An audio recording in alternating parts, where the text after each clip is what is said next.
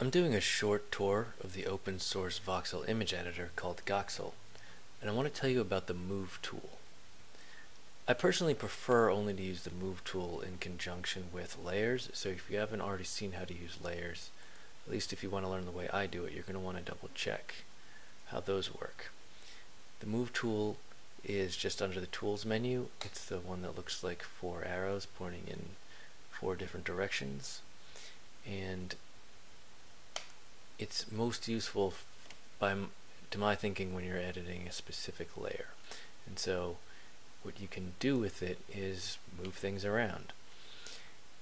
And what it does is it shows you a little when you pick a layer or you pick a, have a selection it shows you a, a little sort of white outline showing you where the thing you're trying to move is located and it gives you the planes you can use to change its location and you just select the little white highlight and you can drag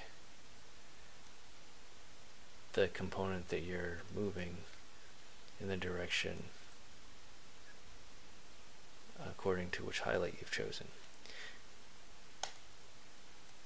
And you can do that for different layers and quickly pick out a different chunk of the image if you want to move a specific piece around. In addition to that, it has some other options that I don't particularly use, but you may want to know about. You can do these rotations, which rotate the whole thing around an axis. And in this image, you can see that it actually rotates so far that it comes out of the boundaries of the normal image. And you can do that around different axes. And if you find that handy, that's great. Uh, personally, I don't particularly use that very much. And you can also flip in different axes and again that typically takes the component outside of the range of the normal image.